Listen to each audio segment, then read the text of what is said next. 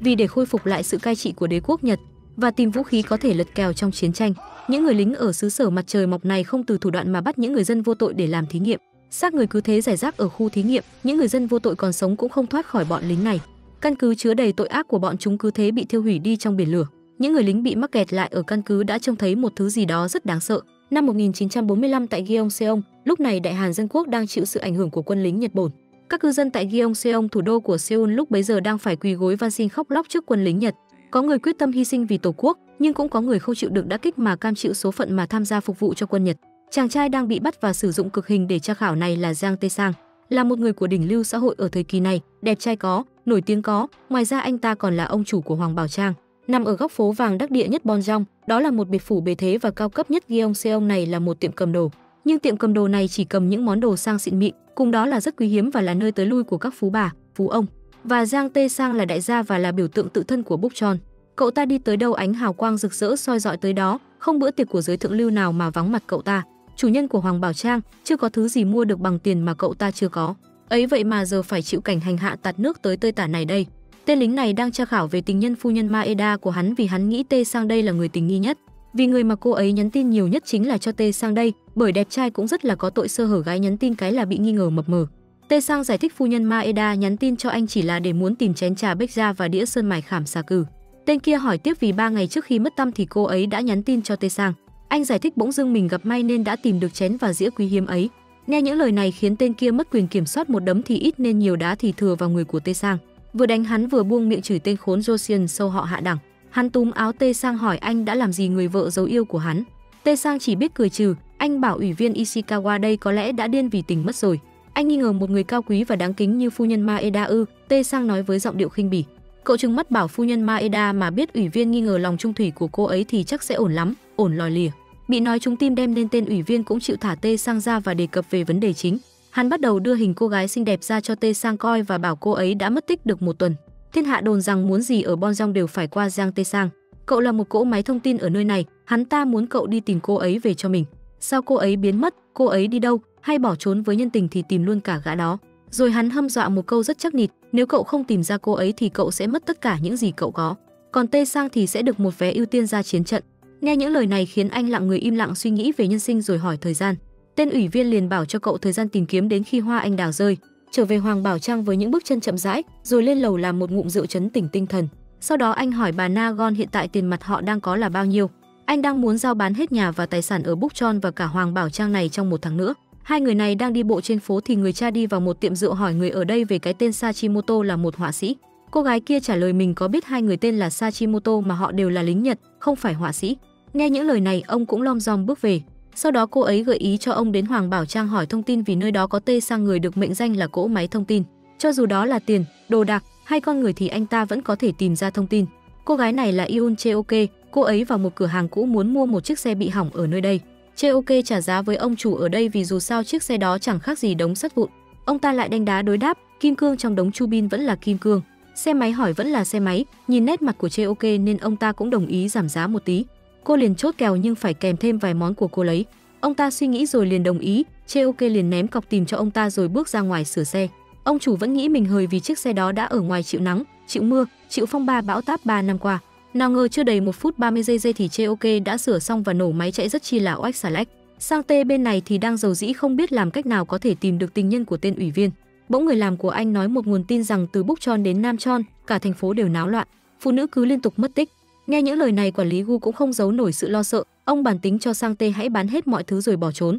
Nghe có lẽ hợp tình hợp lý nhưng việc ông chủ Giang đây giao bán bất động sản bất thình lình như vậy thì kiểu quái quỷ gì cũng sẽ tới tay tên ủy viên Ishikawa. Mà bên dưới tiệm cầm đồ lúc này của Sang Tê thì toàn là tai mắt của Ishikawa cài cẩm để theo dõi hành tung của anh. Anh ra lệnh cho quản lý Gu liên hệ mọi nguồn tin và mối quen, tìm mọi manh mối về Mi Yeongja, rồi bảo bà Nagon giao bán những món đồ đắt nhất ở phòng an toàn, bí mật và nhanh nhất có thể cả tiền mặt và vàng, đảm bảo thanh khoản cao nhất và tìm các con tàu khởi hành trong vòng một tháng, phòng hờ cho trường hợp xấu nhất đây là bài tẩy để Sang Tê và mọi người rời Gyeongseong. Ủy viên bên này cũng được tai mắt của mình thông báo Sang Tê đã bắt đầu mở cuộc tìm kiếm con gậy yêu dấu của hắn. Việc hắn gấp rút tìm cô ấy như vậy là vì Maeda đã có con với hắn. Maeda thì đang ngất xỉu ở một nơi khỉ ho cò gáy nào đó. Nơi này là nhà lao, cô ấy đã bị bắt cùng với những cô gái khác bởi quân đội Nhật Bản. Hai cô gái liền bị bắt mang đi tới một nhà giam khác, chúng để thức ăn cho hai cô gái thưởng thức. Do bị bỏ đói nhiều ngày nên cô gái kia đã ăn rất nhiệt tình, ăn đến khi mắc nghẹn và uống tô nước kế bên. Cô gái kia bên này cũng bắt đầu uống thứ nước đó, việc này khiến tên thủ lĩnh rất thỏa mãn, vì thứ đó có chứa huyết thanh ký sinh trùng của quái vật mà bọn chúng nghiên cứu. Tôi đến sang tê lên bộ vest trắng lịch lãm tóc vuốt vuốt keo ngạo nghễ đi lượn phố, anh nhìn tên trên xe là biết hắn là kẻ rình dập mình. Sẵn tiện đường rình dập cả ngày trời rồi nên sang tê tạo công ăn việc làm cho hắn đó là hãy chờ anh tới búc tròn. Mà những chuyện này đã được chê ok từ xa quan sát thấy, cô ấy cũng bắt đầu dõi theo sang tê. Bà Na Won trong lúc đi bán đồ cho cậu chủ Giang thì đã nghe ông chú kia bảo tin đồn đã vang xa vạn dặm. Tin chưa biết chuẩn chưa nhưng dân chúng đồn quá trời đồn rằng anh sẽ rời khỏi nơi này. Ông tiết lộ cho bà nghe về một hội do thám rất VIP pro họ có thể tìm người ở đủ nơi. Dù người đó là fan MU đang núp trong hang thì họ vẫn có thể tìm ra được. Nghe những lời này bà Na Won liền thấy có lẽ rất uy tín nên liền hỏi ông ta về thông tin của hội do thám đó. Sau một hồi di chuyển thì Sang Tê cũng đã tới nơi cần đến, anh hào sảng bo cho tên tay sai của tên ủy viên rồi bảo đó là tiền cà phê. Rồi di chuyển vào quán ăn, anh nói với ông chủ nơi đó muốn đi nhờ cửa sau liền khiến tên tay sai kia mất dấu. Hắn bên trong xe vui vẻ đếm tiền đến tờ cuối thì phát hiện hai chữ đồ ngốc khiến hắn rất cay cú. Anh bắt đầu lom rom trong một con đường nhỏ, Chê Ok cũng nhanh chân dõi theo sau. Dường như đã biết điều gì đó ngay khi khúc quẹo cua thì Chê Ok đã mất dấu anh. Bỗng lúc này Sang Tê đã từ phía sau chĩa súng thẳng vào đầu cô. Anh biết cô không phải tay sai của tên ủy viên, đang hỏi lý do thì cô tìm cách thoát khỏi miệng súng rồi Innova với anh. Một đấm thì thiếu mà một đá thì thừa, anh một đấm thì cô cũng một đá. Không ai thua kém ai, cô thể hiện mình là một người phụ nữ quật cường khiến Sang Tê cứ thế ăn hành không xiết. Bỗng Sang Tê lấy được câu gậy phản đòn thì khiến nón của Chê Ok văng ra. Mái tóc dài óng ả buôn tỏa dưới màn đêm tĩnh lặng cùng đó là gương mặt xinh xắn dường như hút hết hồn của Sang Tê. Cả hai lại lao vào nhau, thế là người một súng kẻ một dao kề cổ lườm nhau. Sau hồi dĩ hòa vi quý thì Sang Tê cũng hạ cái tôi xuống mà bỏ xuống trước người phụ nữ xinh đẹp kia. Cô nghe đồn anh là cỗ máy thông tin số một nơi đây, Sang Tê liền bảo tin này là chuẩn. Các thông tin của anh sẽ có giá khác nhau tùy theo mức độ cao thấp của nó. Ok liền hỏi anh về họa sĩ tên Sachimoto tầm khoảng 30 tuổi người Nhật Bản nhưng Sang Tê hoàn toàn không biết về người này. Cô hỏi thêm mục đích chính của mình là hỏi anh về người mẹ mất tích 10 năm trước. Sang Tê miệng ăn mắm ăn muối bảo rằng mẹ cô đã bỏ trốn với gã nhân tình Sachimoto đó à. 10 năm thì cũng lâu lắm rồi, nếu mẹ cô đã có gia đình mới thì tìm làm gì nữa. Nghe những lời nói khó nghe này khiến Che Ok giận dữ tát anh một cái thật mạnh. Chửi anh là đồ khốn nạn, anh là rác rưởi thì có chứ nguồn tin số một cái chóa gì. Sang Tê nghe cô xài xể vậy nhưng không tỏ ra giận dữ mà bình thản đáp. Đúng là tôi sinh ra đã như rác rưởi và đã lăn lộn như rác rưởi để sống sót. Cô dặn anh để mùng đi chơi xa thì coi chừng có ngày bị xiên. Trước khi rời đi anh còn hỏi cô tên gì và khen cô có đôi mắt rất đẹp. Cô thì đánh đá muốn móc mắt anh, quay lưng rời đi còn bảo anh là đồ điên. Một nơi nào đó đang có người họa sĩ đang vẽ những bức tranh rất kỳ lạ. Tại tiểu nguyệt quán, Jun Tích đã thả hồn mình vào theo từng giai điệu cho quan khách nơi đây thưởng thức. Sang Tê đến hỏi người bạn mình về kỹ nữ mất tích. Anh bạn thân cho biết cô ta là một trap girl và đã làm trái tim anh tan nát. Khi được hỏi biết cô ta ở đâu không thì anh liền trả lời là không và khuyên anh bạn giàu có của mình hay làm nhân dịp này làm từ thiện tí đi. Vì dù sao tin đồn của Sang Tê với ủy viên đã đồn khắp cả nơi đây rồi. Nhưng Sang Tê không cho như vậy vì giờ anh chỉ cần tìm được kỹ nữ đó là mọi việc sẽ ổn thỏa. Jun Tích thì lại thấy việc không giản đơn như Sang Tê tưởng vì nếu tìm được cô ta thì Ishikawa đã tìm được rồi. Một tuần rồi mà cô ta vẫn bật vô âm tính, hắn vô vọng nên mới kéo cậu vào. Nhưng chắc cậu biết rồi mà. Nghe lời người bạn mình nói Sang Tê chỉ biết vỗ vai bảo cậu ta say rồi rời đi. Jun Tích đứng lên bảo Sang Tê đừng bị ám ảnh bởi tiền bạc vì suy cho cùng nó cũng như con bò dụng cọng lông cây me dụng lá. Sang Tê cây cú vì lời này, vì anh đã dùng cả đời để cày như trâu. Anh thà bị sỉ nhục nhưng đừng sỉ nhục đến tiền của anh. Vì thứ tạo nên anh hôm nay và bảo vệ anh là tiền và tài sản của mình. Nói xong thì anh buồn bã ra về, tên tay sai của ủy viên cũng tới nơi thì quá tiện đường cho anh, chú em chờ anh về với nhé. Tại một nơi nào đó quan lính Nhật thông báo với tên cấp trên rằng vật thử đã có triệu chứng. Cô gái vừa uống nước có huyết thanh khi nãy đã không ngừng la hét vì đau đầu đến mức phải đập đầu. Còn cô gái còn lại thì ngồi co rúm gốc nôn ói và cổ có thứ gì đó đang di chuyển. Về đến nhà sang tê được bà Na Won báo tin tốt rằng đã tìm được nhóm người do thám do môi giới giới thiệu. Còn tin xấu là trong số họ lại là Chê Ok người vừa chửi anh khi nãy. Sang Tê hỏi về bí thuật mà hai người tìm người mất tích, ông chú chỉ bảo rằng đó là châm ngôn không từ bỏ và kiên trì lần theo họ với cùng trời cuối đất. Sang Tê lại hỏi thêm rằng đã tìm được bao nhiêu người thì Chê Ok liền cọc, không tin thì tìm người khác, quay lưng bỏ đi. Sang Tê bảo vì mình sắp giao phó việc quan trọng nên cần hỏi thử một chút là lẽ dĩ nhiên. Ông chú nhẹ nhàng trả lời trong hơn 10 năm qua, hai người họ đã nhận hơn 200 vụ và hơn 140 vụ trong số đó được tìm thấy. Che Ok bảo cha mình rời đi vì không muốn nhận vụ này vì cô đang có hiểm khích với anh ta. Bà Na Won hỏi anh đã làm gì mà lại bị cô gái xinh đẹp kia nói thế thì anh liền bảo mình chỉ báo mắt cô ấy đẹp thôi. Nghe lời này cha của Che Ok liền quay lưng bỏ đi. Lúc này Sang Tê nghiêm túc cất giọng nói mình sẽ giúp họ tìm về họa sĩ Sachimoto, cùng đó là sẽ tìm được mẹ của Che Ok. Thời gian mà họ tìm kiếm đó đến lúc hoa anh đào rơi. Bên này anh chàng họa sĩ được quân lính Nhật thuê về để vẽ thứ gì đó, anh ta soi đèn pin vào thì thấy một xác người nằm la liệt dưới đất soi lên trên thì con vật kỳ bí ấy liền lao tới tấn công. Anh họa sĩ ấy chính là Sachimoto Ryu, tốt nghiệp Đại học Mỹ thuật Tokyo. Cậu đến nơi này vì muốn cống hiến cho thiên hàng và đế quốc Nhật Bản. Vì nghe thiên hạ đồn đến đây phục vụ sẽ được ban thưởng hậu hĩnh, nhiệm vụ của cậu được nhận ở đây đó là vẽ lại quá trình thí nghiệm người sống. Trở lại thức tại cậu ngồi một góc khóc vì lựa chọn sai lầm của mình.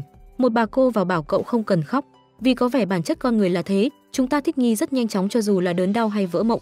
Nghe những lời này Sachimoto lau vội nước mắt rồi lom rom bước ra ngoài. Anh nhìn ngắm hai bên toàn là những tù nhân xấu số bị bắt để làm thí nghiệm. Trở lại thực tại, bà cô ấy đã bị biến đổi với đôi mắt đục ngầu sau đó từ từ hóa thành một con quái vật với móng vuốt dài đầy đáng sợ. Sachimoto cố cầm đen pin soi vào thì thấy nó có đeo một sợi dây chuyền.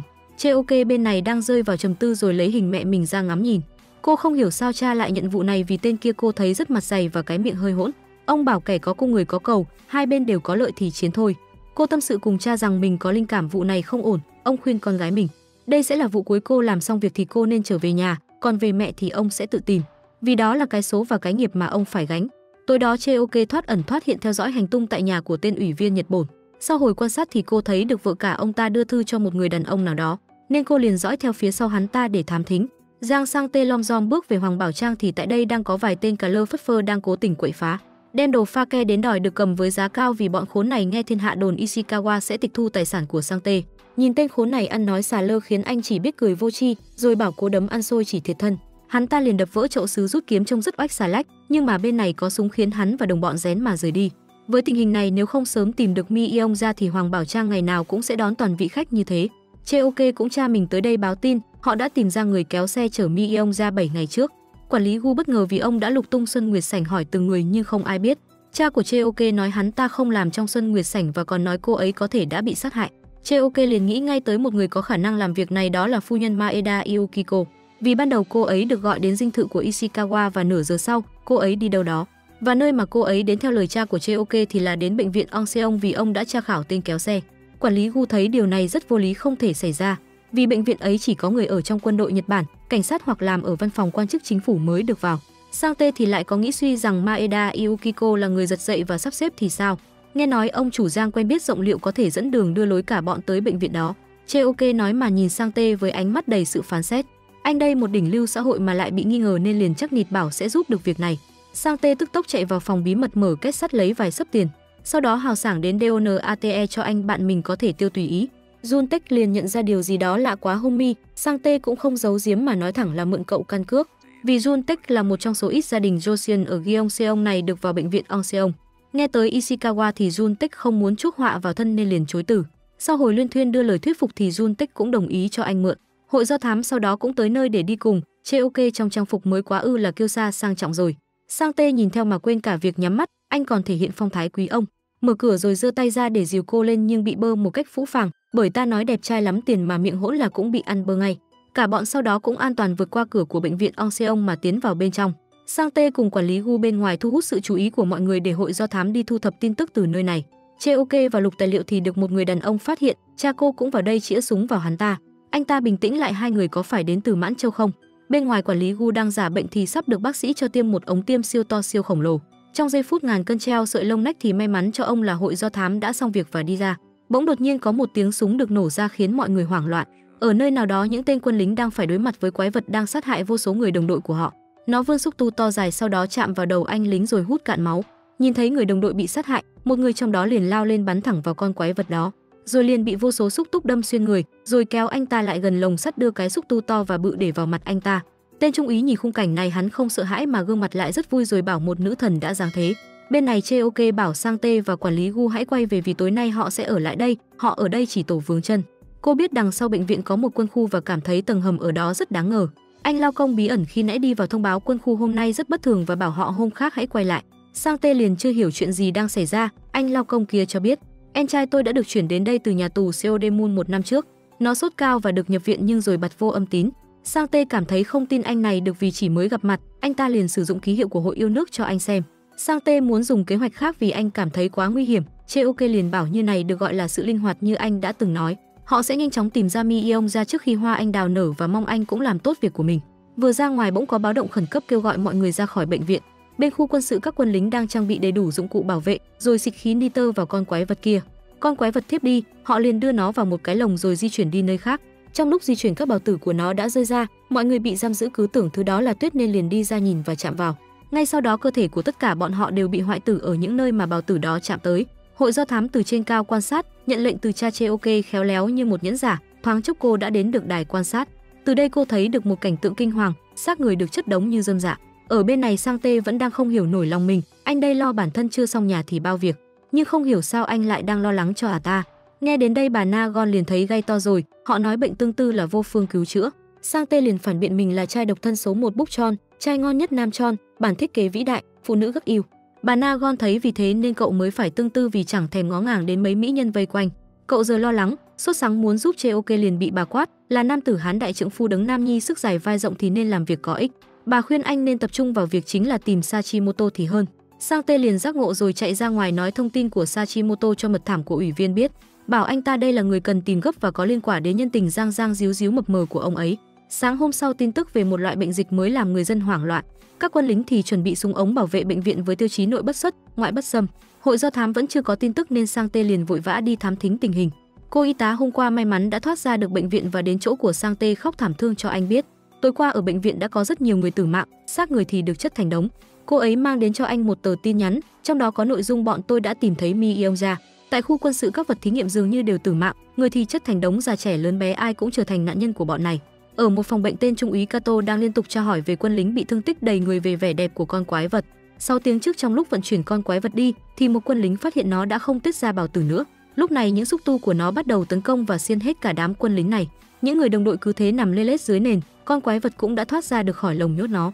Thiếu ta Endo vì muốn giữ mạng mình nên đã bảo người đồng đội đóng cửa thang máy lại nhưng cậu ta liền bị quái vật tóm lấy chân. Endo không màn tình đồng chí mà trực tiếp đánh vào đồng đội mình để có thể đóng cửa thoát thân. Anh ta cũng không thoát khỏi sức mạnh tuyệt đối của con quái vật đó, xúc tu cứ thể xuyên thẳng qua người anh. Anh ta la hét vì sợ hãi nổ súng bắn tùm lum vào con quái vật. May mắn vì biên kịch còn viết cho anh thoại nên anh cũng giữ được lại cái mạng quèn của mình. Khi được trung úy Kato hỏi về chuyện đó, Endo chỉ biết thoi thóp từng hơi thở yếu mà cầu xin hãy tiêu diệt nó trước khi quá muộn. Nó là một tai họa, Endo vừa nói vừa khóc rất thảm thương. Con quái vật bên dưới hút máu người nên đã to lớn hơn cùng đó mà các vết thương từ đạn bắn vào người nó cũng đã tự hồi phục. Sang Tê khi biết tin bệnh viện đóng cửa liền tới gặp phu nhân Maeda thì biết chuyện tình nhân của chồng cô ấy trong bệnh viện là tin chuẩn. Với tư cách là một người bạn Maeda khuyên anh nên lượng sức mình không nên nhúng tay vào chuyện này. Vì giờ bệnh viện Onseong đã nghiệm cấm người khác vào có sử dụng mối quan hệ cũng khó lòng mà vào đó được. Bảo cậu nên tìm cách khác để cứu họ thì tốt hơn. Biết được thông tin quan trọng cần biết, Sang Tê về thông báo với mọi người biết rằng hội do thám đã thực sự tìm đúng người. Anh dự định tối nay 10 giờ sẽ tiến vào đó để giải cứu cho cờ rút. Mật báo của ủy viên khi theo dõi Sang Tê thì liền bẩm báo mà nó lạ lắm. Cậu ta đi khắp cả thành phố vào buổi sáng, sau đó ngồi đánh mặt trực chiêu chiêu một tiếng đồng hồ. Rồi cậu ấy đi xe kéo lòng vòng đường phố Bon Rong nửa tiếng và cuối cùng ghé vào tiệm may để may một bộ vest lịch lãm nhất, nhưng đó chỉ là phần nổi. Phần chìm chính là thông tin từ Tử Nguyệt quán âm thần gửi tới đêm qua cho Sang Tê. Tại bệnh viện thì nhóm do thám và anh lao công vẫn còn an toàn ở phòng dọn dẹp. Họ còn có thêm một người đồng minh mới, tuy là áo lính Nhật nhưng lại là người Josian. Tại Hoàng Bảo Trang, người phụ nữ kia đã bán đi kế sinh nhai trong 10 năm qua của họ bà Wona. Bà ấy không cần tiền mà muốn nhờ Hoàng Bảo Trang giúp mình tìm con trai bị thất lạc sau khi nhập ngũ tại học Đại học Igyeongseong. Bên này chàng trai ấy cũng đã kể lại chuyện mình đã nhập ngũ tại Đại học Igyeongseong. Cậu bị thương trong trận Bon Grim ở Trung Quốc và được chuyển tới bệnh viện Onseong. Sau khi hồi phục thì được vào trung đội kiểm soát dịch. Cheoke cũng kể lại việc tối qua mình đã thấy vô vàn người Josian mất mạng. Anh lao công kia liền kích động muốn hỏi kỹ chàng trai về người em trai của mình, nhưng cậu ta xin lỗi vì mình cũng không thể xem kỹ hết mặt người đã mất. Cậu tiết lộ vẫn còn rất nhiều người Jeseong ở dưới hầm ngục đó. Dưới hầm khi đó cậu đã gặp con ghệ yêu dấu của Ishikawa đang phải van xin khóc lóc bởi cảnh tượng kinh hoàng trước mắt cô. Dù đã bảo mình là Akiko nhưng cậu cũng không màn mà quan tâm việc đó. Vì căn bản cậu không thể giúp gì được cho cô ấy cả, vì cậu cũng giống họ mà thôi. Vì là người Josian nên bị tên chỉ huy đánh đập dã man chỉ vì nôn mửa khi khiêng xác người mất. Trong lúc cậu ấy định kết liễu đời mình để thoát khỏi đường nhân gian đầy ải bi thương này thì Cheoke đã đến và giải cứu cậu. Cô bảo cậu hãy trước khi thật sự đáng, khiến cậu nghe xong chỉ biết khóc nấc lên. Sang Che bên này đã có thông tin chuẩn về họa sĩ người nhất có tên Sachimoto. Anh liền đưa tiền cho cô gái pha rượu ở đây để biết thêm thông tin, cô ấy liền hẹn anh 8 giờ ở Saharu để ăn đồ Trung Hoa. Sang Tê liền bảo mình không có tâm trạng nhưng anh sẽ ăn với Sachimoto chứ không phải cô ấy, vì cô ấy đã hẹn gặp cậu ta ở Saharu. Trung úy Kato nói chuyện cùng với tên giáo sư nghiên cứu dự án tà ma ngoại đạo này. Hắn ta muốn sử dụng sinh vật bên đã phá đảo thế giới ảo bên dưới để khôi phục lại uy quyền cho Tokyo. Nhưng Kato thấy chưa thể chắc chắn có thể thuần hóa được hay không. Tên giáo sư liền ngạo nghễ trả lời mọi sinh vật sống trên thế giới này đều có thể thuần hóa được, cũng như họ đã thuần hóa Josian này vậy. Mọi người bên này cùng nào bàn tính kế hoạch giải cứu con ghệ dấu yêu của ủy viên ra và tìm cách thoát khỏi đây. Cậu thanh niên kia vì để không làm bể kế hoạch nên cũng quyết định tin tưởng họ mà quay về trung đội để không bị phát hiện. Sang Tê đang ngồi chờ cô pha chế rượu ở Saharu cùng với tên mật thám. Anh ta cứ cần nhằn Sang Tê vì họ đã chờ ở đây một tiếng, thấy cô ấy đến Sang Tê cũng rủi cho anh ta hai tờ tiền vào mồm, bảo anh ta hãy mua bắp nước xem MU tối nay đá. Đang trên đường đi thì bị đám cà lơ phất phơ phá đám hôm trước chặn đường. Sachimoto cũng đã đến nơi hẹn để gặp cô gái kia, nhưng anh thì vẫn bị đám Nhật Bổn này đánh cho lên bờ xuống ruộng. Thương tích thì đầy mình, muốn dùng tiền để thỏa hiệp nhưng bọn này tham lam muốn cả Hoàng Bảo Trang vừa lòng hà dạ. Tên cầm đầu cà khịa anh là một thằng vô dụng ngồi trên đống tiền chả khác gì rác rưởi. Nghe tới đây anh liền mất quyền kiểm soát xoay người một đá thẳng vào ngũ quan xấu xí của hắn khiến hắn bất tỉnh nhân sự. Sau một trận đấu dài hơi thì Sang Tê cũng lom rom lê lướt thân xác chi chít vết thương của mình đến điểm hẹn nhưng mọi thứ đã quá muộn. Quản lý Gu đã lấy được bản đồ bệnh viện Onseong đem về cho Sang Tê. Bà Wona ngấn lệ không biết vì sao cậu lại cố gắng vứt bỏ mạng sống mình chỉ vì con ghệ của tên Nhật Bổn kia. Cậu cay cú vì không phải điều đó nhưng những thứ cậu làm ra đã bị bọn chúng lấy cơ ba lắp ba sảm mà cướp đoạt. Nên cậu muốn tự mình đứng dậy đấu tranh. Bà Wona thấy nước chúng còn cướp được thì dăm ba cái này có là gì với chúng. Sang Tê cảm thấy dao kiếm không làm mình đau mà là lòng kiêu hãnh. Lúc này cô gái ở quầy rượu Yeong Chun cũng đã đem họa sĩ Sachimoto đến gặp anh. Cheoke di chuyển trong đường ống thì đến được một khu bí ẩn, nơi đây toàn là những đầu người bị cất trong hộp. Ngoài ra có có vô số nội tạng cùng đó là trẻ nhỏ và trẻ sơ sinh đều được cất ở đây. Cô soi đèn đi lên một lúc thì thấy chiếc lồng sắt đang giam giữ vô số trẻ nhỏ vô tội, sau đó Cheoke giúp lũ trẻ thoát qua đường ống. Tên bác sĩ đi tới định tiêm huyết thanh thì thấy lũ trẻ đã tẩu thoát, định đi bẩm báo cấp trên thì đã bị Cheoke xiên một phát trầu trời. Nhờ Sachimoto mà Juntech cùng Sangte đã dễ dàng qua mắt quân Nhật Bổn và tiến vào bên trong. Quản lý Gu thì đang chở xe với vô số hàng hóa đi nơi nào đó. Sachimoto đưa họ đến tầng một nơi chứa đồ lao công vì mọi người đã hẹn gặp ở đây. Cha của Cheoke đang đứng quan sát thì bị quân lính Nhật bắt gặp, bỗng trên trời lại nổ pháo hoa hoành tráng soi sáng cả màn đêm tĩnh lặng. Lúc này ông liền nhân cơ hội tấn công bọn này. Cheoke cũng tới kịp lúc và song tấu cùng cha mình, sau một lúc cả hai đã dẹp loạn toán quân Nhật Bổn. Còn một tên cuối cùng định ra súng bắn vào cô thì bất ngờ Sang Tê đã tới kịp lúc nổ súng và cứu cô kịp thời. Những đứa trẻ sau đó được đưa ra, Cheoke ra điều kiện nếu anh đưa chúng ra khỏi đây tôi sẽ tìm Mi Yeong ra. Bên dưới tầng hầm những người dân vô tội đã bị bắt đi làm thức ăn cho con quái vật, tên giáo sư thì dùng chuông để ra sức thuần hóa nó. Cả nhóm sau đó cùng nhau tụ họp tại phòng dọn dẹp, Cheoke thắc mắc người Nhật kế bên là ai. Tê Sang liền bảo anh ấy làm ở bệnh viện Onseong. Khi được hỏi về lũ trẻ cô liền vén áo cho họ xem vết thương mà cô bé phải chịu ở đây. Trước đó cô bé làm việc ở một nhà máy đạn dược rồi bị bất ngờ ép tới đây, sau đó là bị tiêm thuốc mỗi ngày. Những đứa trẻ khác sức đề kháng kéo thì đã quá đời rất nhiều, đứa thì sốt, đứa thì trong lúc ngủ thì ra đi. Họ đã thực hiện những thí nghiệm vô nhân tính trên con người ở đó. Nghe vậy Tê Sang liền muốn nhanh chóng tìm ra Mi Yeong ra, anh không quan tâm lũ trẻ vì nhà còn bao việc. Nói thì nói vậy chứ phận sim plỏ thì vẫn phải cam chịu nghe lời cờ rút. Sashimoto trước khi đưa họ vào phòng mình thì anh ta cũng đã giấu những bức ảnh vẽ con quái vật kia đi. Mọi người tất bật chuẩn bị để có thể đưa những đứa trẻ ra ngoài, bỗng một cô bé la lên khiến tên lính bên ngoài giật mình cảnh giác về căn phòng này. Tê Sang và Cheoke đi vào nhìn những bức vẽ này, lúc này anh mới nói anh chàng Nhật Bản kia chính là Sashimoto. Cheoke liền đưa bức ảnh ra cho anh ta xem, bức ảnh đó chính là do anh ta vẽ vào một năm trước. Cheoke muốn biết về người phụ nữ này vì bà ấy chính là mẹ của cô. Bên dưới con quái vật đang liên tục xiên người này đến người kia, nghe theo tiếng chuông của tên giáo sư ở trên. Con quái vật tấn công họ một cách điên cuồng khiến xác người nằm gục dưới nền đất. Nhanh nhẹn, im lặng và nguy hiểm cùng đó là mạnh mẽ. Tên giáo sư hỏi Kato có thể tạo thêm được bao nhiêu con như này nữa. Kato không dám chắc gì đây là vật thí nghiệm đầu tiên có được sau hàng ngàn xác người và biến dị. Ông ta muốn hắn tăng tỷ lệ thành công lên để báo cáo kết quả này thí nghiệm vĩ đại này cho thiên hoàng sớm nhất có thể. Trở lại bên này Sachimoto bảo rằng mình không hề biết thông tin gì về người mà anh vẽ cả. Nghe những lời này khiến Cheoke ngấn lệ, con tim cô chắc đã nhói đau rất nhiều vì đã hy vọng để rồi thất vọng. Nhìn cảnh tượng này Sang Chê cũng không kìm lòng được mà bước ra ngoài để cô yên tĩnh một mình. Anh đưa áo khoác của mình cho một cậu bé rồi bảo cháu là thủ lĩnh, là một người đàn ông cậu sẽ có bản lĩnh đưa các em mình ra khỏi đây. Sang Chê dặn dò cậu bé hãy cứ kéo xe và các bạn nhỏ không được cho các lính Nhật nhìn thấy. Anh lấy ra một hộp bánh tặng lũ trẻ, anh muốn đưa lũ trẻ đi trước và muốn hoàn thành việc này trước giúp cho Chê ok. Tên lính quèn khi nãy nghe tiếng đứa trẻ khóc liền đi báo cáo với thủ lĩnh. Cả giám lính đi vào tìm thì Sachimoto cùng mọi người đã rời đi. Lúc này chúng chặn đường và nói về những đứa trẻ trốn khỏi phòng thí nghiệm. Nghi ngờ có những đứa trẻ đó ở đây hắn ta liền lục lòi thì không có gì cả. Lúc này cậu bé đã giả thành kéo xe và quyết tâm vững bước chạy theo lời của Sang Chê. Ra được ngoài cửa cậu bé vừa kéo vừa khóc trong hạnh phúc và cũng vì lo sợ cho Sang Chê. Sachimoto khi bị nghi ngờ thì liền cà khịa tên lính để ra uy, bọn chúng rời đi thì cả bọn cũng thở phào nhẹ nhõm. Đám nhóc bây giờ đã an toàn đến Hoàng Bảo Trang theo lời chỉ dẫn của Tê Sang. Tên giáo sư khi khám nghiệm tử thi thì thấy quân lính Nhật Bổn bị sát hại qua một vết cắt và hắn nghĩ là do một người Josian nào đó làm. Ngay sau đó thì một vị khách quý tới, hắn liền tức tốc đi gặp người đó. Vì khách quý mà ông ta tới gặp chính là phu nhân cao sang quý phái Maeda. Cô ta tới trong đêm muộn như vậy là để cho ông ta biết Giang Tê Sang. Bên này cả nhóm đang xem bản đồ của bệnh viện, anh lao công do sắp hết ca nên phải quay về để không bị nghi ngờ. Anh nhờ mọi người nếu xuống được hầm ngục hãy tìm em trai của anh giúp. Cạnh tay phải có một đốm đen to bằng ngón tay cái, tầm 20 tuổi. Sachimoto cũng chào mọi người vì anh cũng chỉ giúp họ tới đây để không bị liên lụy. Tê Sang bảo Chê Ok và cha mình hãy đi vì cả hai đã thấy Sachimoto mà không có thứ cần tìm. Và thỏa thuận của họ thế là xong, cả hai cứ thế giành lấy tấm bản đồ qua lại trông rất vô tri. Dù thế nào thì Chê Ok vẫn quyết theo vụ này đến cuối và cô sẽ là người dẫn đường. Mọi người sau đó đi lên tầng thượng để vào đường ống, lúc mọi người vào hết thì Jun Tek ở ngoài rút kiếm để lại ký hiệu yêu nước của mình lại. Anh này đúng là ngoài cái đẹp trai thì còn đó là cái sự báo đời nữa. Binh lính bên ngoài cũng thấy sự việc này và bắt đầu truy tìm nhóm người bọn họ. Theo lệnh của Maeda thì bọn quân lính Nhật đã bắt con ghệ giấu yêu của chồng cô ấy qua một nơi khác để đảm bảo tính mạng cho cô ta. Trong lúc chờ thang máy xuống tên thủ lĩnh ngạo nghễ đi vào trước thì đã trở thành chiến công đầu cho con quái vật ấy. Ba tên lính còn lại liền sợ hãi nổ súng rồi chạy tán loạn. Giờ cả nhóm bên này không thể đi đường thang được nữa, nhưng trước đó Sachimoto đã chỉ cho họ một con đường an toàn khác, lối dẫn vào phòng giặt ở tầng hầm 2. Tên lính phía trên tầng thương thấy kỳ lạ nên đã chui vào đường ống để thám thính. Cả nhóm đã an toàn đến phòng giặt thì phía sau tên lính đã tối vào chĩa súng vào họ. Trong lúc hắn lơ là vì tiếng súng thì đã bị Cheoke tấn công nhưng cô cũng bị hắn đánh gục ngay đó. Những tên lính dưới hầm thì từng tên từng tên một đã bị con quái vật xiên.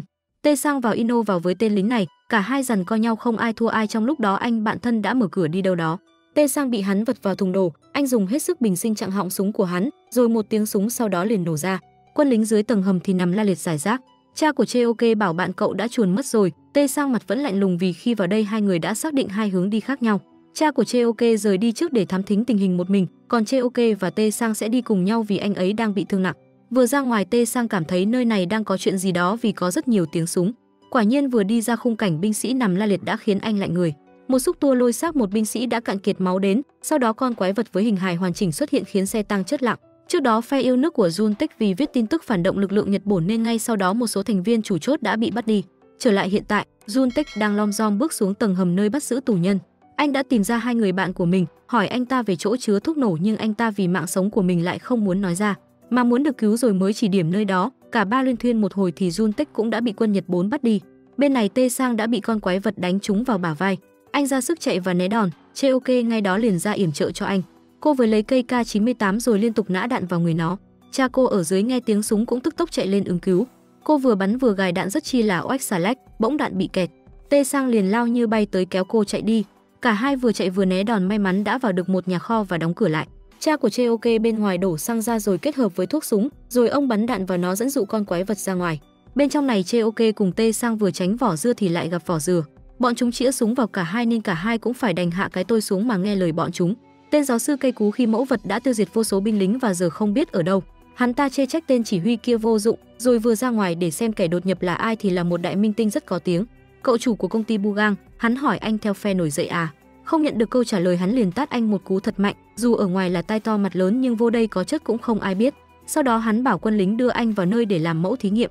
Tê Sang và Chê Ok đã bị bọn này giải đi vào nhà lao. Trên đường đi bắt gặp chỉ huy hắn chặn lại và muốn dẫn mình Tê Sang đi. Chê Ok bị bắt bên này khi được hỏi chuyện cô không nói thì bị tên kia đánh đập tơi tả. Hắn ra tay mạnh bạo dù đó là một nhành hoa xinh đẹp. Bên đây tên chỉ huy bắt đầu bộc bạch tâm sự với Tê Sang, Tokyo đã bị bom hủy hoại nên giờ hắn cùng gia đình không muốn quay lại đó nữa. Vợ và con hắn đều yêu thích Gyeong Seong này và muốn tiếp tục sống ở đây. Điều kiện là quỹ an cư 300 yên, một ngôi nhà để ở và cửa hàng rộng 33 mét vuông. Nếu cho hắn những thứ đó hắn đảm bảo cậu sẽ sống sót rời khỏi bệnh viện Ong Seong. Tê Sang hỏi tại sao mình phải giúp ông thì ông ta bảo mình đã cứu cậu một lần rồi. Ở lần trước kiểm tra xe đẩy ông đã thấy bóng của Jun Tích nhưng không vạch trần ngay lúc đó. Tê Sang lại đặt ra tiếp câu hỏi về Mi Yeong Ja và Yoon Cheoke đó là thứ cậu cần hoặc là khỏi thỏa thuận. Cheoke dù bị hành hạ đánh đập dã man nhưng cô vẫn không nói mục đích mình vào đây. Tên đã xấu mà còn độc ác này kêu binh lính đỡ cô lên rồi lấy dao chém đứt từng cúc áo của cô. Anh có thể dùng vũ lực làm nhục tôi, nhưng không có nghĩa là anh thắng. Anh vẫn không hiểu sao. Nghe những lời này khiến hắn ta cay cú muốn xiên cô nhưng Kato lúc này đã tới và bảo dừng tay lại. Hắn bảo tên trung sĩ này đã thua rồi và dùng ánh mắt đầy phán xét nhìn chê ok. Sang tê chưa biết có thỏa thuận được gì hay không thì cũng bị bắt vào nhà giam. Tên giáo sư đến báo cho cha của Jun Tích biết là con trai mình theo phe nổi dậy. Nếu còn làm khùng làm điên không chỉ con trai mà cả công ty của ông cũng sẽ đi đời. Jun Tích tại nhà giam đã bị tiêm huyết thanh vào người.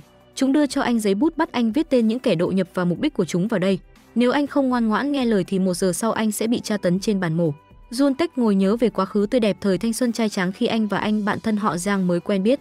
Tê Sang là người bạn duy nhất nhận ra sự chân thành, lòng yêu nước và mọi thứ của Jun Tech vì vậy anh ấy rất yêu quý anh bạn này.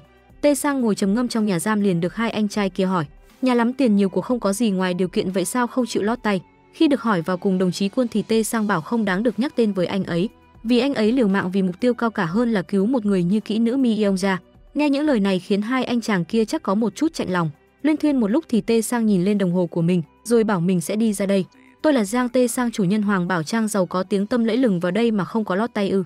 Trước khi vào đây anh đã thỏa thuận ba việc với tên chỉ huy. Thứ nhất, nhắn cho bà Nagon ở Hoàng Bảo Trang. Thứ hai, đưa hết lính canh và lính gác ra hết khỏi nơi nhà lao để anh có thể thoát ra khỏi đây. Với việc thứ ba, tên chỉ huy ra sức ngăn cản lại vì cậu có thể sẽ mất mạng đó là tìm Yun Cheoke. Cheoke đang bên này cùng với tên trung úy Kato, hắn ta hỏi mục đích của cô đến đây. Cô cũng bộc bạch nói là vì người mẹ đã mất tích 10 năm trước của mình. Sát đó hắn ghé vào tai sát vào mặt hỏi chúng ta đã từng gặp nhau chưa vì hắn đã từng nhìn thấy đôi mắt đó. Hắn hỏi cô về tên người mẹ mất tích, Seong Sim Sesin.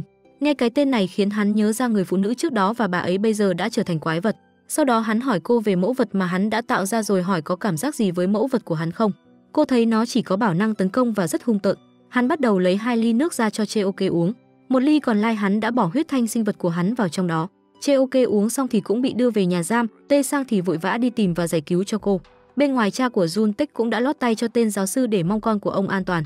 Người của Hoàng Bảo Trang liền tới đây theo lời của cậu chủ, họ muốn hợp sức để cứu cả cậu chủ quân và cậu chủ Giang. Cheoke trong căn phòng giam bỗng bật khóc nức nở vì những dòng chữ được viết bằng máu trên tường. Mẹ nhớ con, Cheoke, con gái của mẹ. Hai tên lính quèn đang canh giữ thì lại thấy đói, đang đói thì có kẹo caramel rất hiếm ở dưới đất. Thuận theo ý trời có tận hai viên, mà không làm mà đòi có ăn thì chỉ có ăn chu bin mà thôi. Tê Sang liền vào đi đường quyền cho hai tên bất tỉnh nhân sự. Anh lấy chìa khóa mở cửa và giải cứu Cheoke. Cô ngồi trong này chớt lặng vì đau khổ, cô giờ không muốn đi ra ngoài mà muốn đi tìm mẹ. Tê Sang ra sức khuyên ngăn cô vì dù sao đây cũng là hang ổ của quân lính Nhật Bản. Anh đưa cô kế sách khác an toàn hơn để tìm mẹ của mình, đang luyên thuyên không hết lời thì Cheoke ôm lấy khiến anh nín họng. Cô xin lỗi đã không thể ở bên anh đến cuối cùng. Tê Sang cũng ôm lấy cô và căn dặn mong cô đừng mất mạng. Jun Tích tại phòng giam lòng đau như cắt nước mắt đầm đìa khi viết tên hai người bạn đi cùng mình là Tê Sang và Cheoke. Tê Sang quay về nhà lao thì bất ngờ mọi người ở đây đã được thả ra hết. Vì khi nãy anh đã đưa chìa khóa cho anh bạn cùng nhà lao để cho anh ta tin tưởng.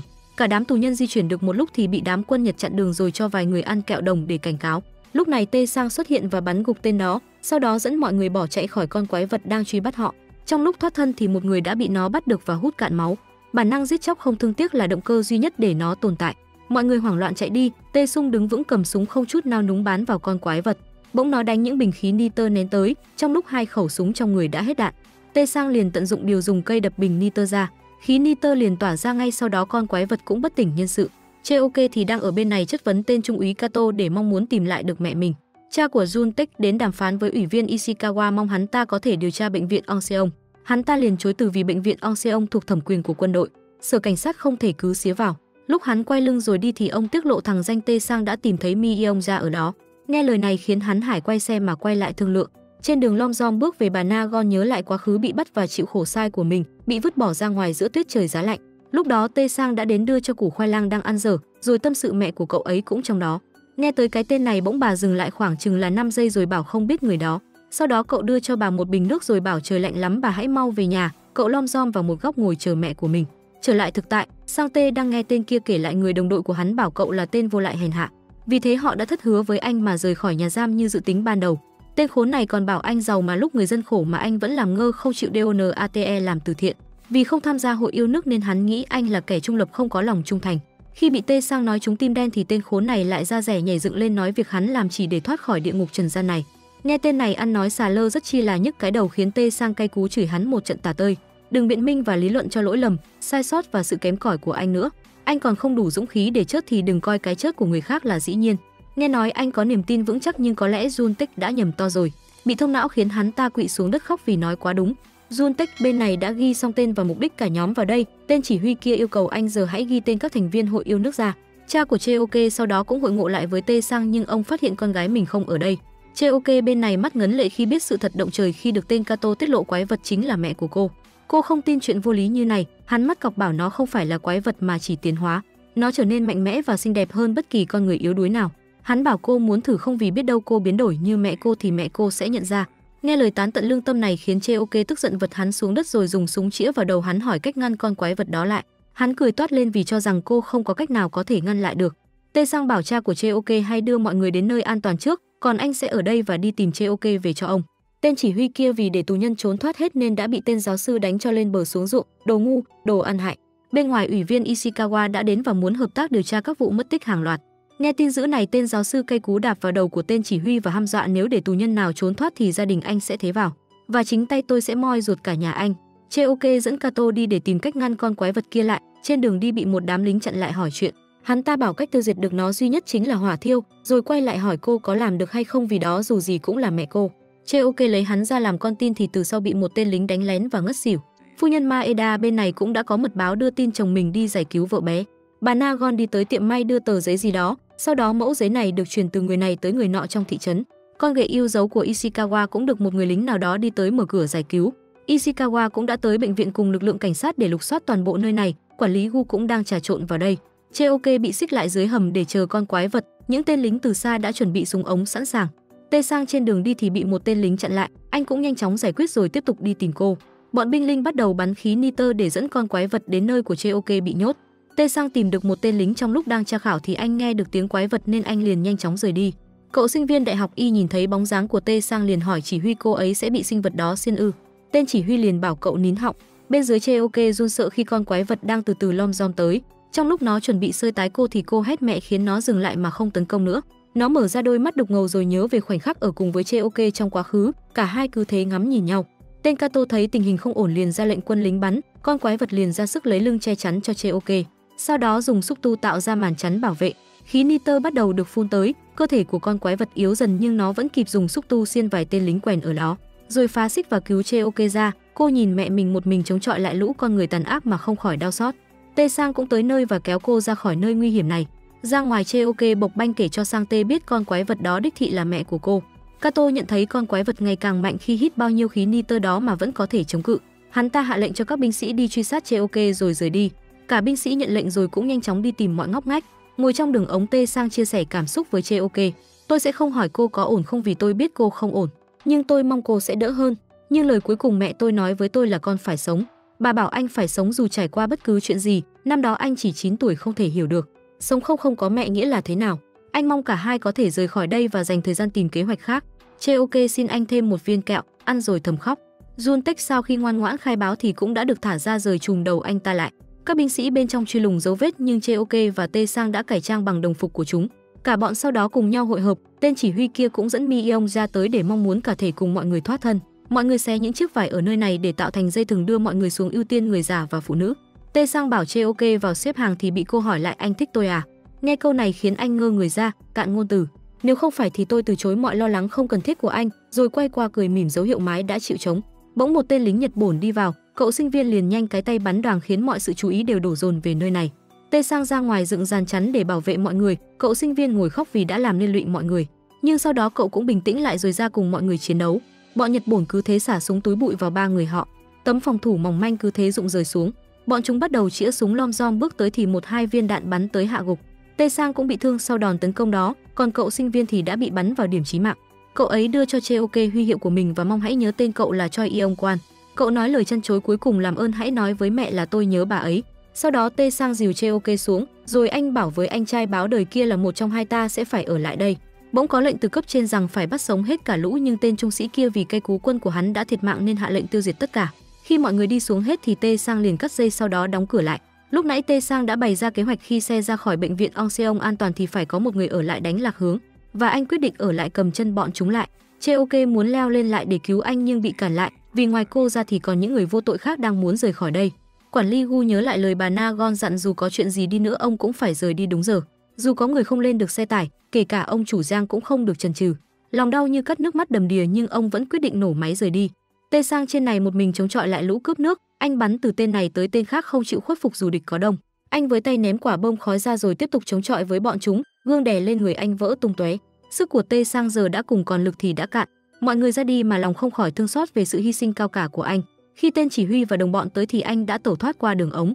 Các tên binh sĩ sau đó liền nhanh chóng lên đây mon men truy bắt anh. Trong lúc chạy anh đã không chú ý mà đi vào một cái lỗ khác, cứ thế anh rơi thẳng một mạch xuống. Khi rơi xuống thì anh nằm trên một đống xương người. Bà Nagon cũng đi giao dịch chiếc bình sứ quý hiếm của tiệm cầm đồ cho người nào đó. Cha của Jun Tích cũng đã chờ và thấy bọn binh lính vứt con trai mình ra đường. Vẻ mặt cậu ta sợ sệt, gương mặt thất thần với miệng luôn nói câu xin lỗi. Quản lý Gu đưa con gậy bé đến gặp ủy viên Ishikawa. Tên giáo sư bên trong giờ mới hay tin cô ta đã được thả ra và người thả chính là chỉ huy Soma. Nhưng việc này không quan trọng, thứ Kato quan tâm chính là ai đã uống cốc nước trên bàn. Khi hỏi tên binh sĩ ở đây thì hắn bảo rằng đã có bốn người vào đây. Kato đăm chiêu nghĩ suy một trong bốn người đó đã uống cốc nước này. Tê sang vật vã tỉnh dậy thì tên chỉ huy đã chờ sẵn ở đây chĩa súng vào đầu anh, ngay sau đó là tiếng súng phát ra. Khi trả người xong thì bọn cảnh sát không buông tha mà cứ đuổi theo quản lý Gu. Bằng tài năng lạng lách đánh võng lên ga đá số mà ông cũng đã cắt đuôi bọn chúng sau đó đi tới thị trấn.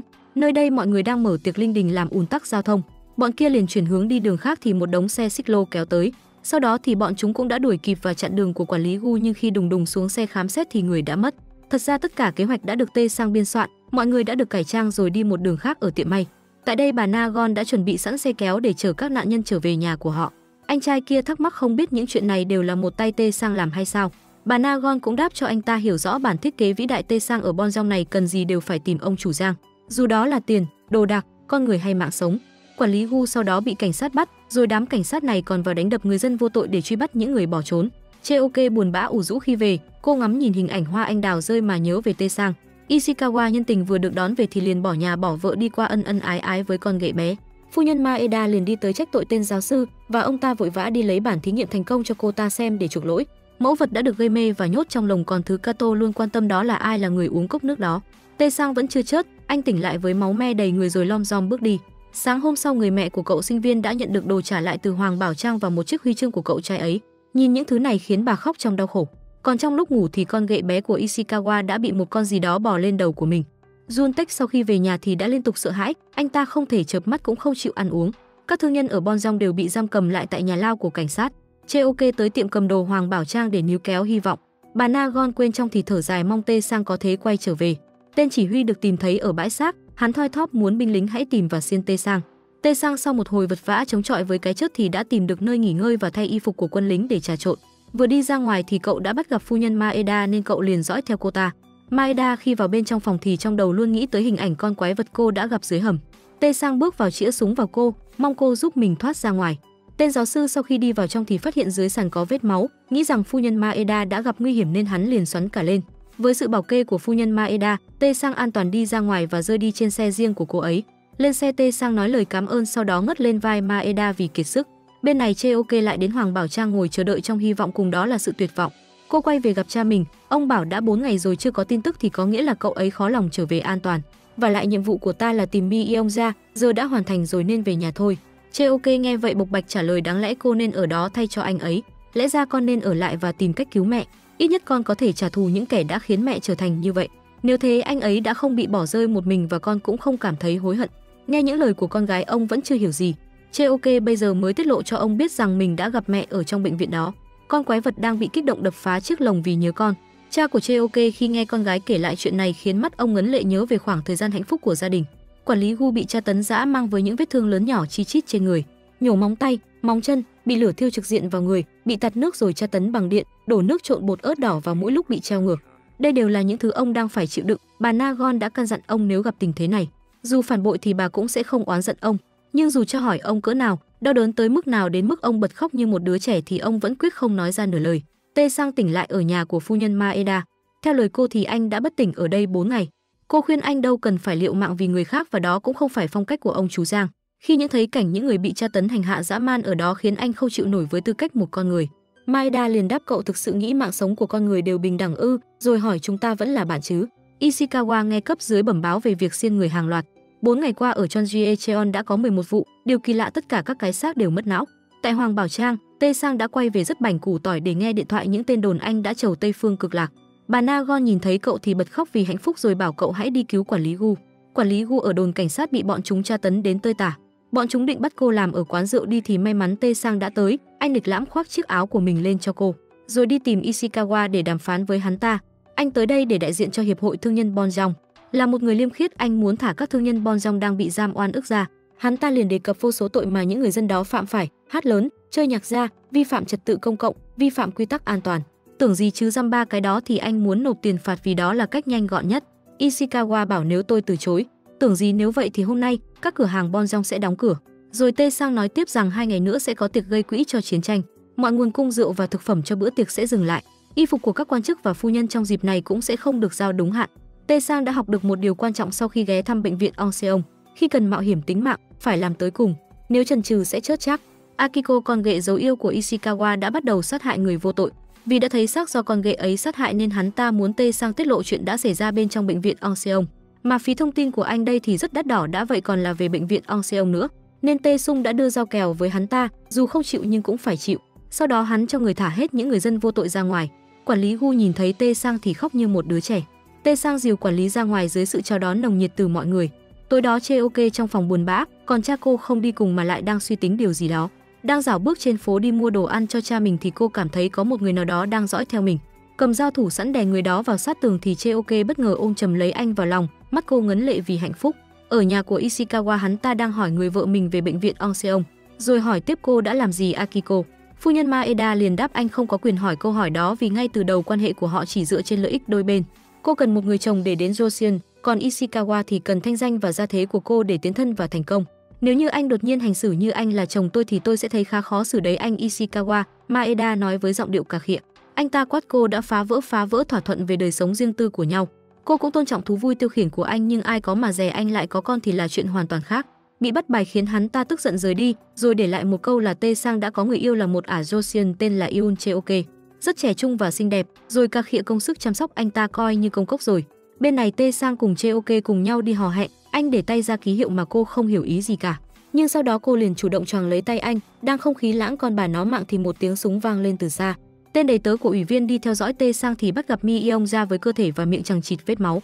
Cô ta cứ thế dùng tay móc thẳng vào mắt của anh ta. Sang Tê và Cheoke đã đến đây thì cô ta bắt đầu di chuyển về phía họ. Maeda đến gặp Kato được hắn ta tiết lộ về huyết thanh Najin, chúng được tìm thấy ở sông băng núi tuyết Murion, nơi người Najok sinh sống. Nếu chỉ sử dụng Najin nó sẽ chỉ biến con người trở thành thú săn mồi. Dưới hình dạng con người, sinh vật đó sẽ duy trì sự sinh tồn và bản năng săn mồi. Nó rất hung hăng và bạo lực hơn hầu hết các loài săn mồi, cùng đó là rất nhanh nhẹn và hồi phục vết thương ngay lập tức. Còn nếu trở thành quái vật như mẹ của Cheoke thì phải tiêm vào huyết thanh chứa bệnh than. Kato cũng mở tủ ra freak nhẹ vài lọ huyết thanh này cho Maeda xem. Điểm yếu của bọn này là ghét ánh sáng mặt trời, lửa và yếu đi bởi khí nitơ. Bên này sau một màng combat này lửa thì Tê sang gọi lớn tên Mi Yong ra bỗng khiến cô lấy lại ý thức của mình rồi bỏ chạy. Tên tay sai trong đau đớn cũng đã bắn chỉ thiên để gọi đồng bọn đến. Các cảnh sát sau đó liền tới vây bắt lấy Mi Yong ra. Cheoke cùng Tê Sang cũng ra sức để bắt Mi Yong ra lại. Cô ấy không muốn Mi Yong ra bị bắt vì mọi thứ sẽ tồi tệ như mẹ cô đã bị. Mi Yong ra cứ thể chạy trong rừng với chiếc miệng đầy máu me bê bết bởi sự truy lùng của các tên cảnh sát. Mãi chạy trong rừng cuối cùng Mi Yong đã bị cảnh sát vây bắt, xe của Ishikawa sau đó cũng tới đây. Hắn lộ ra bộ mặt ố để khi nhìn thấy cô trong hình hài này, rồi khuyên cô hãy về bệnh viện Onseong đi. Vì tay cô đã nhuốm máu của quá nhiều người, cô ôm bụng nói về con của hai người thì liền bị hắn quát nạt. Hắn đem ra một cái lồng bảo cô tự chui vào đó và còn bảo đó hành động tử tế cuối cùng mà hắn có thể dành cho cô. Nghe hắn ta nói những lời tán tận lương tâm này rồi còn quát cô như việc đó là bổn phận cô phải làm. Mi Yong ra liền lao tới tóm lấy cổ hắn sau đó cào xé trong sự phẫn nộ tột cùng. Nhiều tiếng súng sau đó vang lớn trong rừng xanh, Mi Yong ra cảm nhận nỗi đau cô rơi nước mắt vì đau và chắc cũng là vì sự phản bội. Ủy viên Ishikawa được đưa đi cấp cứu còn Mi Yong ra thì được nhốt lại vào trong lồng sắt. Cheoke về nhà thì thấy bố đã viết thư để lại cho cô. Cheoke à, cha đi đến chỗ mẹ con đây. Cha sẽ hoàn thành trách nhiệm cuối cùng với tư cách một người chồng. Nên Cheoke à, hãy sống cuộc đời của con nhé. Đọc những dòng tự sự từ cha mình Cheoke bất giác rơi lệ. Còn ông bên này thì đã được đưa đến gặp tên trung úy Kato. Hắn liền cho ông xem hình ảnh người vợ mình trong hình hài quái vật đang cắn xé một binh sĩ. Nhìn hình ảnh này, ông không khỏi xót thương mà phẫn nộ, dằn vặt dưới mặt đất. Cheoke giờ như đứa con của nỗi buồn, cô rơi vào trầm tư khóc một mình. Tê Sang quyết định đóng cửa Hoàng Bảo Trang đến khi tình hình được giải quyết và cũng nên chuyển quản lý Gu đến nơi khác an toàn hơn. Anh cảm thấy những việc mình chứng kiến ở bệnh viện ấy không nên xảy ra với bất cứ con người nào. Dù Mi Yong ra đã xiên rất nhiều người nhưng không có báo nào đưa tin về việc này và đó là cách làm của bọn Nhật Bổn. Nếu ngoảnh mặt làm ngơ vì nó không dính dáng đến ta, thì sẽ có ngày nó sẽ xảy đến với tất cả chúng ta. Ishikawa đang hứng chịu cơn đau từ những vết cào xé trên người, hắn ta thoi thóp và được các y bác sĩ cầm máu. Maeda thấy việc này thật đáng tiếc và cô mong tên giáo sư hãy chăm sóc chồng cô tử tế. Maeda ở nhà mở quyển album ra xem thì trong đó có bức ảnh cô ta chụp cùng với mẹ của Cheoke. Tê Sang đến tâm sự với Cheoke, anh bảo có lẽ Mi Yeong Ja đã được đưa tới bệnh viện. Cuối cùng thì có phải ta không ngăn nổi những gì họ làm không? Cheoke buồn bã nói. Sau đó Tê Sang dẫn cô vào căn phòng bí mật, đây là nơi sưu tầm của anh về những món đồ cổ anh yêu thích. Anh chỉ Cheoke xem những món đồ và câu chuyện đằng sau từng món đó. Anh lấy từ trong tủ ra một chiếc hộp rồi bảo Cheoke đưa tay ra. Anh đã mua chiếc vòng tay bạc này từ một nhà truyền giáo người Mỹ. Ở giữa có đính một viên đá opal, nghe nói ở châu Âu họ coi đây là viên đá may mắn. Anh mong từ giờ trở đi Cheoke sẽ chỉ gặp may mắn thôi. Nhìn khung cảnh có lẽ hơi ngượng ngùng nên Tê Sang nhanh chóng đánh chống lảng sang chủ đề khác. Cô mong cả hai hãy nhớ tới nhau, nếu một trong hai ta người mất mạng trước người kia thì người ở lại phải nhớ đến người kia. Cô overthinking nghĩ rằng sẽ không ai nhớ về sự tồn tại của mình khi mình mất. Tê Sang nghe những lời này rất xúc động, anh xin lỗi cô vì chuyện này sẽ không xảy ra, vì cả hai sẽ bên nhau đến lúc hạnh phúc. Cả hai ôm lấy nhau với cảm xúc dâng trào, rồi cùng nhau trao nụ hôn nồng cháy dưới ánh trăng soi sáng trong màn đêm thanh tĩnh. Tê Sang sau đó tới quán rượu để gặp người bạn thân Jun Tích của mình. Còn Chê Ok trên cầu thang thì cũng đã chuẩn bị sẵn một khẩu súng để làm điều gì đó. Sau một thời gian sang chấn tâm lý thì anh cũng đã trở lại đỉnh cao phong độ vốn có của mình. Tại nhà của phu nhân Maeda, các viên cảnh sát đã tụ họp lại đây dự tang lễ của ủy viên Ishikawa. Tối đó trong lúc ủy viên thoi thóp thì đã bị tên giáo sư tiêm thuốc vào kết liễu đời hắn ta vì theo lệnh của Maeda. Maeda mặt không biểu lộ cảm xúc nói với các viên cảnh sát, tôi muốn cái chết của chồng tôi đáng mặt hơn một chút. Đường đường là ủy viên tổng thống chính phủ lại mất mạng dưới tay một ả kỹ nữ Josian. Báo chí sau đó liền lên ngay tin nóng hổi này và người Josian bằng một một cách nào đó lại bị déo tên. Sơ hở có drama là họ sẽ đổ lỗi cho Josian. Tê Sang muốn mạo hiểm mạng sống của mình một lần nữa và bàn tính kế hoạch mới với Juntech. Trời đổ cơn mưa ngâu, Cheoke bên ngoài tang lễ của Ishikawa đứng chờ. Cô bước chậm chậm từng bước, vừa đi vừa gài đạn nhưng bước đi nặng nề theo vết mưa. Mọi thứ có lẽ cô đã dự tính từ trước, cô chĩa súng vào tên giáo sư rồi nổ súng. Cô thầm cảm ơn Tê Sang và tự hứa với lòng dù thế nào cô cũng sẽ không quên anh. Ngay sau đó một tiếng súng nổ lên Cheoke cũng ngã quỵ xuống nền đất. Tê Sang đến gặp những người trong hội yêu nước và nói cho họ một thông tin mật đó là sự kiện Bu Minh Quan bị hoãn vô thời hạn. Đây là tin chuẩn từ nhà cái đến từ châu Á. Anh hỏi về số bom của hội nhóm yêu nước vì anh sẽ định xóa sổ bệnh viện Onseong. Bỗng cô gái làm ở quầy rượu và báo cho Tê Sang tin nữ do thám Yoon Cheoke đã gây ra chuyện lớn. Nghe tin này Tê Sang liền ba chân sáu cẳng bỏ chạy thục mạng. Con quái vật ở bị giam cầm ở bệnh viện thì đã phá được lồng sắt và thoát ra ngoài. Tê Sang đến tang lễ của Ishikawa gặp được tay sai của ông ấy, anh liền đi tới hỏi chuyện về Yoon Cheoke. Cậu ta tiết lộ sau khi cô ấy cho tên giáo sư kia ăn kẹo đồng thì các sĩ quan gần đó đuổi theo ngay lập tức, nhưng cô ấy đột ngột biến mất. Các sĩ quan từ Jongno và cả sở cảnh sát tìm cô ấy từ Honmachi đến Jongno nhưng vẫn không thấy tăm hơi đâu cả. Họ còn vừa ra lệnh khám xét Hoàng Bảo Trang. Tình hình giờ đang rất là bất thình lình, nên đây là lần cuối thanh niên này có thể cung cấp thông tin cho Tê Sang. Anh cũng bảo cậu nên giữ khoảng cách với mình một thời gian thì hơn. Khi anh vừa rời đi khoảng chừng là hai bước thì cậu ta kéo tay lại và căn dặn anh cẩn thận vì có một bàn tay vô hình thao túng tất cả. Cuộc họp toàn quan chức cấp cao và tai to mặt lớn được diễn ra tại nhà của phu nhân Maeda. Tất cả bọn họ đều không một ai biết được thông tin của Cheoke đang ở đâu. Bên ngoài tên tài xế của Maeda đang nói chuyện với cậu bé giúp việc ở Hoàng Bảo Trang. Cậu ấy trách bọn họ vì đã đến Hoàng Bảo Trang quậy phá vì ngay từ đầu đã không giao kèo như vậy. Việc cậu tiết lộ là khai ả do thám ở đâu, cậu bé không muốn làm việc tán tận lương tâm này nữa, muốn dừng lại và muốn số tiền như đã hứa để cậu có thể lên tàu đến Tokyo. Nghe chuyện đó tên kia liền trở mặt rồi tắt máy với thao tác rất dứt khoát, mà cuộc đối thoại này của cả hai đã được quản lý Gu đứng trên lầu nghe thấy hết. Dưới căn hầm các binh sĩ vẫn chưa tìm thấy tung tích của con quái vật thoát khỏi lồng sắt. Kato liền muốn cho nó thêm mồi và dặn binh sĩ vẫn còn một.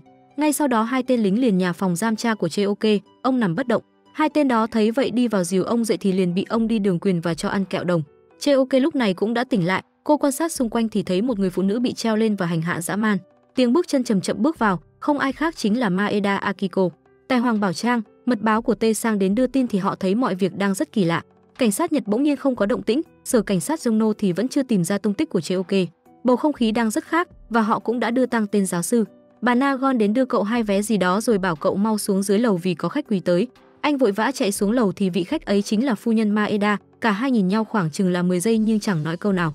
Bà Nagon thấy vậy cũng đi ra ngoài cho họ không gian riêng tư, không thấy bóng dáng cậu giúp việc bà liền hỏi quản lý Gu. Ông ấy liền bảo nó sẽ không quay lại đâu. Bên trong Maeda hỏi anh về bà Nagon có đáng tin không, anh liền bảo bà ấy như người nhà của mình từ bé. Cô nói tiếp người nhà đâu có nghĩa là có thể tin tưởng và dặn anh đừng nên tin người dễ dàng như vậy. Họ không phản bội anh vì họ xấu xa mà họ phản bội vì họ yếu đuối. Và hầu hết con người đều là những sinh vật yếu đuối, Maeda nói với giọng mỉa mai. Cô ta bảo anh đừng đợi nữa vì Yoon Cheoke sẽ không quay trở lại đâu. Cô mong anh hãy quên Ishikawa, Akiko và bệnh viện Onseong đi. Và kể cả Yoon Cheoke nữa, hãy sống một cuộc đời như trước như chưa từng có cuộc chia ly làm con dân vĩnh hằng. Có như thế thì anh và Hoàng Bảo Trang mới có thể an toàn. Lúc này Tê Sang nhìn Maeda và nhớ lại lời của cậu thanh niên cảnh sát kia rằng có bàn tay vô hình thao túng tất cả. Tê Sang căng thẳng hỏi lý do làm sao cô ta biết rằng Cheoke đã mất trong khi anh đã dùng tất cả mối quan hệ để lục tung nơi này lên. Maeda không trả lời câu hỏi đó mà chỉ đề cập việc nếu không có cô thì anh đây đã bị bắt. Việc anh thân thiết với người phụ nữ đã cho tên giáo sư Ichiro ăn kẹo đồng cũng đủ quy anh về tội phản động. Cả hai cứ thế người thì hỏi Cheoke, kẻ thì chối từ không trả lời câu hỏi đó. Trước khi rời đi Maeda còn nhấn nhủ anh rằng sẽ không bao giờ gặp lại cô ấy đâu. Tê Sang vẫn không cam tâm mà đuổi theo Maeda, cậu mở tung cửa ra nói cho cô ta biết rằng dù cô có làm gì thì cậu cũng sẽ tìm cô ấy. Dù không biết là sống hay chết thì anh vẫn chắc chắn sẽ tìm cô ấy. Nghe những lời này Maeda từ từ quay đầu lại hỏi cậu định đối đầu với tôi ư? Anh biết rằng cô có quyền lực, xuất thân quyền thế, còn là người Nhật. Thiên thời địa lợi nhân hòa thì làm sao anh dám đối đầu. Thế nhưng đó lại là Yoon Cheoke, tuy anh chỉ là một chủ tiệm cầm đồ tầm thường sống một cuộc đời bình dương, sống một cuộc đời làm đủ điều dơ bẩn chỉ để tồn tại, nhưng lần này cô ấy là người mà anh muốn bảo vệ ngay cả khi phải từ bỏ tất cả. Nghe những lời này Maeda liền bóc phốt những người thân tín bên cạnh anh. Người phụ nữ tên Nagon mà cậu coi như người nhà chính là người đã chỉ điểm mẹ cậu từ lâu. Còn quản lý Gu thì mới đây đã phản bội cậu ở phòng tra tấn của cảnh sát. Còn nhóc giúp việc vì muốn tìm lại người mẹ bỏ rơi nó từ nhỏ và bỏ trốn qua Nhật Bản mà đã phản bội cậu bằng tấm vé rẻ mạt. Ngoài ra người bạn thân ai nấy lo của cậu chưa đầy nửa ngày đã khai ra cậu và bạn bè cậu là những kẻ phản động chủ chốt. Họ muốn cứu mạng mình không màng đến ân huệ đến đạo đức, Maeda xem họ là những người bạn rác rưởi. Còn cô thì hết lòng hết dạ và không ngừng nỗ lực vì Tê Sang mà anh lại định phản bội cô khiến cô cay cú khóc với đôi mắt đỏ hoe. Tê Sang cũng bộc bạch nói ra lòng mình, tất cả những người đó sẽ không phải khổ sở đến thế nếu thế giới không ở trong tình cảnh này. Nếu thế giới không thế này, họ sẽ không bị lôi vào tù đánh đập như tử để nói tên đồng đội mình. Họ sẽ không bị đốt nóng hay bị nhổ móng tay, móng chân. Họ sẽ không phải không chịu nổi tra tấn mà phải gào thét tên đồng đội ra để rồi sống một đời trong tội lỗi. Thế nhưng bất chấp tất cả họ đã làm mọi thứ để có thể tồn tại, dù cho có nhục nhã, dù cho có đau khổ cỡ nào. Vì nếu họ không sống sót thì sẽ chẳng ai nhớ những gì họ đã trải qua. Tê Sang tức giận quát Maeda to tiếng, thế nên đừng gọi họ là rác rưởi, không một ai trong số đó đáng bị cô gọi là tùy tiện rác rưởi. Nói xong cây cú chất chứa trong lòng, Tê Sang liền quay lưng rồi vội vã vào nhà đóng cửa. Bà Nagon đến bên anh rồi hỏi anh đã biết việc bà khai tên mẹ anh từ khi nào. Tê Sang buồn bã nói từ ít lâu khi mẹ của anh qua đời. Anh rơi nước mắt vì biết đó không phải là lỗi của bà. Ở tầng hầm Cheoke đã bị bọn quân lính đưa tới nhà giam mẹ của cô. Cậu bé giúp việc sau đó đi vào Hoàng Bảo Trang để chuộc lại lỗi lầm vì cậu đã thấy Cheoke bị đưa đi. Bà Nagon bảo cậu là thứ cõng rắn cắn gà nhà, đồ vô ơn mà mấy thứ đó thứ quản lý Gu đã thông não hết rồi. Cậu nói vì trước đó Maeda nói rằng chỉ cần nói cô gái ở đây thì ông chủ sẽ ổn tất cả là để giúp ông chủ Giang. Cứ thế một người dám hứa và một người thì dám tin. Tê Sang đứng dậy và hỏi cậu Cheoke đang ở đâu. Anh căn dặn bà Nagon nếu chuyến này anh không về thì hãy bán Hoàng Bảo Trang, rồi cậu cùng với Jun tích sách vali lên và đi với thuốc nổ ở trong đó. Cả hai chia tay nhau vì Tê Sang muốn vào đó một mình cho tiện hành động, nếu chuyến này có thể quay về thì hẹn đi nhậu tới bến. Cheoke ở dưới tầng hầm thấy đám này thật trơ trẽn khi làm những việc xấu như thế mà vẫn ung dung tự tại. Tên Kato nghe những lời này thì cây cú liền tắt cô, con quái vật bên dưới cảm nhận được điều này liền nhảy sổng lên trên. Bên ngoài Tê Sang cũng đã quậy ở cổng bệnh viện bằng thuốc nổ được giấu trên xe. Con quái vật bên trong thì đi đường quyền với từng tên lính dám uy hiếp con của mình. Tên Kato liền lấy Cheoke ra uy hiếp tính mạng cửa cô. Cứ thế vì con gái nên con quái vật đành phải nhịn nhục và hứng chịu đạn dược từ những tên lính quèn.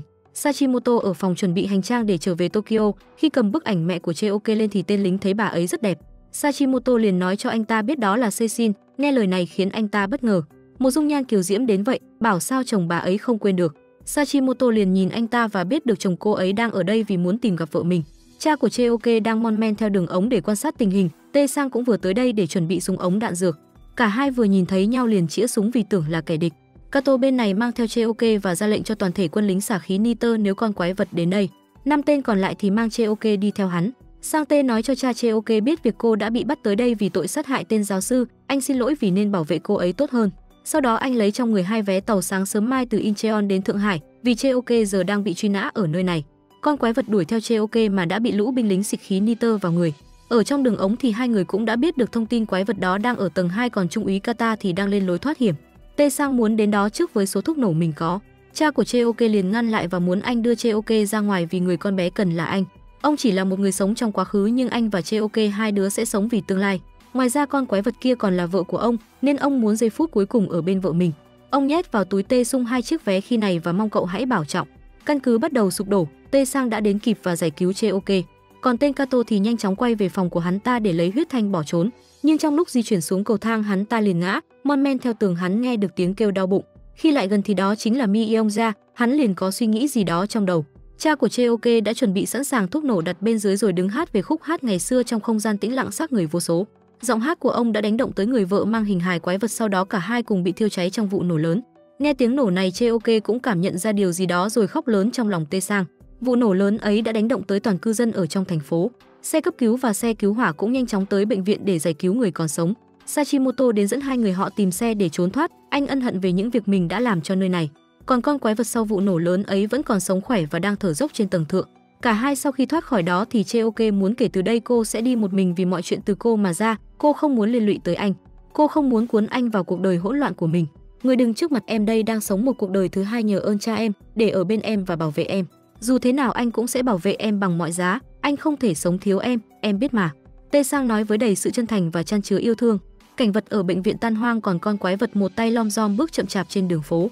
Cậu giúp việc đã gom đủ vàng vòng tiền bạc đến cho ông chủ của mình bỏ trốn. Sau một hồi đạp xe di chuyển thì cậu đã tới nơi vì phải cắt đuôi lũ theo dõi mình. Nhưng ngay sau đó năm sáu chiếc xe liền tới đây, người đứng đằng sau chuyện này chính là Maeda. Cô ta thấy vì ả Josian này mà đã khiến cậu nổi loạn nên muốn chấm dứt tình bạn từ đây. Rồi nói ám muội rằng trước đây cô cũng có một người bạn và bị mẹ của Cheoke làm mất. Sau đó hạ lệnh cho đám thuộc hạ sát hại hai người ở đây. Hai ba chục thằng giang hồ liền lao lên với dao kiếm, cả hai ra sức chống chọi đánh hạ được rất nhiều tên nhưng họ cũng bị thương đang kể. Sức chịu đựng của con người có giới thiệu, đang lúc ngàn cân treo sợi lông nách thì quái vật huyền bí đã tới xiên hết bọn lấc ca lấc cấc này. Chưa dừng lại sự phẫn nộ của mình nó vươn xúc tu tấn công Tê Sang, nhưng Cheoke đã kịp nhận ra và nhận lấy đòn chí mạng đó. Người này là người con yêu nên xin mẹ hãy dừng lại đi. Dừng lại thôi mẹ, nói xong những lời chân chối cuối cùng thì Cheoke cũng gục ngã trên nền cỏ. Hoa anh đào đã rơi hết rồi, cô nhìn Tê Sang với đôi mắt rưng rưng rồi tắt đi hơi thở cuối cùng. Tê Sang nhìn hình ảnh này mà chỉ biết khóc trong đau đớn thảm thương, con quái vật cũng đau khổ ở bên cạnh cậu riêng gì. Tại bệnh viện tên Kato vẫn chưa chết mà đã giúp Mi yong ra hạ sinh một đứa trẻ. Tại buổi tưởng niệm của Ishikawa, jun tech đi tới gửi lá thư từ người bạn Tê Sang của mình đến cho Maeda với nội dung vĩnh biệt. Cùng đó là vô số hoa lễ ghi tên những người đã khuất, Maeda liền nhận ra điều gì đó rồi chạy đi nhưng vẫn không kịp với vụ nổ. Tê Sang đến nhậu cùng với anh bạn thân của mình. Jun Tích trước đó cũng đã kể lại hết những việc mình bán đứng đồng đội và anh để cứu lấy mạng của mình. Nhưng anh không giận mà lại tươi cười vui vẻ hẹn Jun Tích đi nhậu. Sau đó Tê Sang quay về với khu phố Yên Bình, ngồi trước Hoàng Bảo Trang buồn bã nhớ lại những lời của người mình yêu nói. Hàn Quốc sau đó cũng đã lấy lại được nền độc lập. Phu nhân Maeda vẫn chưa mất mạng mà đã mất đi đôi chân cùng dung nhan đã bị hủy hoại. Dưới sâu của mặt biển, Cheoke đang trôi nổi lên đên mẹ cô tiến tới sờ vào mặt cô con gái bé bỏng của mình, tạo ra những xúc tu đỡ lấy cô, con ký sinh trùng liền thoát ra khỏi cơ thể con quái vật rồi từ từ chui vào miệng cô. Khi quá trình này hoàn tất, con quái vật rơi xuống lòng sâu của biển cả còn Cheoke đã mở mắt tỉnh lại. Phim tới đây là hết, các bạn thấy hay để lại một đăng ký kênh nhé. Tập hôm nay đến đây là hết mất rồi. Cảm ơn các bạn đã theo dõi. Còn giờ thì xin chào và hẹn gặp lại.